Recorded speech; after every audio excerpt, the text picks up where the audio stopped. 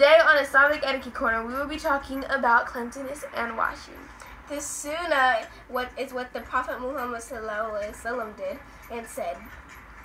It is sunnah to keep perfume and wear it regularly.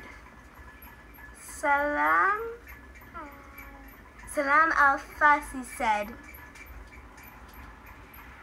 I can't believe you. Amy, y'all need to stop and stop the video. Amy, you need to read. Okay, okay, I was reading. Farsi said that Prophet Muhammad sallallahu alaihi wasallam said Allah will forgive. Okay. I think I need to switch sides with Amy so we can switch things we say. oh.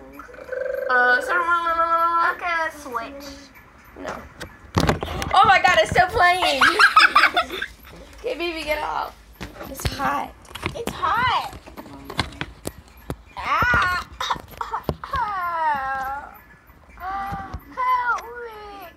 Watch out.